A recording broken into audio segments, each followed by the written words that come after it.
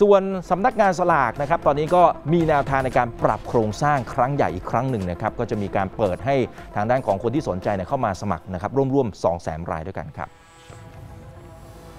ท่านอธิบดีกรมสรรพสามิตในฐานะประธานคณะกรรมการสลากกินแบ่งรัฐบาลนะครับท่านก็มาเปิดเผยว่า ที่ประชุมบอร์ดสลากกินแบ่งรัฐบาลนี่ได้เห็นชอบแนวทางในการแก้ไขปัญหา ขายสลากเกินราคา 80 บาท ซึ่งก็ เป็นปัญหาที่ยืดเยื้อมานานเนี่ยนะครับ มีแนวทาง 3 แนวทางดังต่อไปนี้ อย่างแรกโครงการสลาก 80 บาท ก็จะเปิดรับสมัครให้ผู้ที่มีโคต้าสลากอยู่แล้ว เข้าร่วมโครงการนะครับ โดยจะเปิดรับสมัครตั้งแต่ 24 ธันวาคม 2564 นี้นะครับ ก็คือวันนี้แหละครับ เป็นวันแรกเลยนะครับ ไปจนถึง 24 มกราคม 2515 มีเวลา 1 เดือนเต็มๆ ซึ่งคุณสมบัติของผู้ที่เข้าร่วม จะต้องเป็นผู้ค้ารายเดิม ที่ได้ลงทะเบียนกับสำนักงานสลากแล้ว 25,000 ราย หลังจากนั้นครับจะคัดกรองคุณสมบัติเพื่อที่จะได้ผู้ขายสลาก 80 บาททุกอำเภอจำนวน 1,000 จุดจำหน่าย โดยเริ่มตั้งแต่งวดที่ 2 พฤษภาคมนี้เป็นต้นไป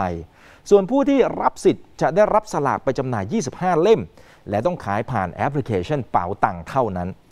อย่างที่2ครับ เปิดรับสมัครผู้ซื้อและผู้จองล่วงหน้า2 0 0 0 0 0ราย อันนี้สำคัญนะครับ โดยจะเปิดรับสมัครตั้งแต่วันที่ 1 ไปจนถึง 31 มกราคม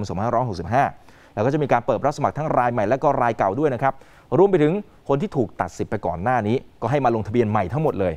และเมื่อตรวจสอบคุณสมบัติแล้ว ก็จะได้รับสลากไปจำหน่ายรายละ 5 เล่ม โดยกลุ่มนี้ครับสามารถนำสลากไปขายผ่าน Facebook ส่วนตัวได้ แต่ต้องขายตรงกับผู้บริโภค ไม่ใช่การขายช่วง สำหรับคุณสมบัติของผู้สมัครรายใหม่2 0 0 0 0รายเบื้องต้นครับ ต้องไม่มีอาชีพประจำเช่นข้าราชการรัฐวิสาหกิจ และไม่อยู่ในระบบประกันสังคม ส่วนที่ 3 คือการจำหน่ายสลากผ่านระบบอิเล็กทรอนิกส์หรือว่าแพลตฟอร์ม โดยสำนักงานสลากก็จะมีการเปิดแพลตฟอร์มเอง ให้กับผู้ที่มีสิทธิ์ในสลาก 5 เล่ม สามารถที่จะนำมาฝากขายได้และถือว่าเป็นแพลตฟอร์มกลางที่จะขายสลาก 80 บาท โดยสลากตัวจริงจะอยู่ที่สำนักงานสลากนะฮะซึ่งแต่ละเลขเนี่ยจะขายได้แค่ครั้งเดียวเท่านั้น ส่วนประชาชนที่ต้องการซื้อจะต้องลงทะเบียนผู้ซื้อก่อน แล้วก็จ่ายเงินเข้าบัญชีตัวแทนจำหน่ายนะครับไปฟังเสียงท่านประธานคณะกรรมการสลากกินแบ่งรัฐบาลครับ การพิมพ์สลากยังพิมพ์สลากเหมือนเดิมที่ 100 ล้านฉบับนะครับ แต่ว่าเราจะเพิ่มช่องทางการจำหน่ายสำนักงานจะสำนักงานสลากจะสร้างจะเรียกแพลตฟอร์มก็ได้จะเรียก Marketplace ก็ได้นะครับในการให้อำนวยความสะดวกให้กับคู่ค้าที่ได้ สิทธิ์สลากไปเรียบร้อยแล้วเนี่ยสมมุติว่าวันนี้เขาเลือกช่องทางที่จะอยากจะขายบนออนไลน์อยากขายแบบดิจิตอลก็ไม่ต้องเอาไปขายให้คนอื่นแล้วครับเอากลับมาที่สำนักงานสลากเนี่ยครับสำนักงานสลากจะขายบน Marketplace ที่เราสร้างขึ้นมา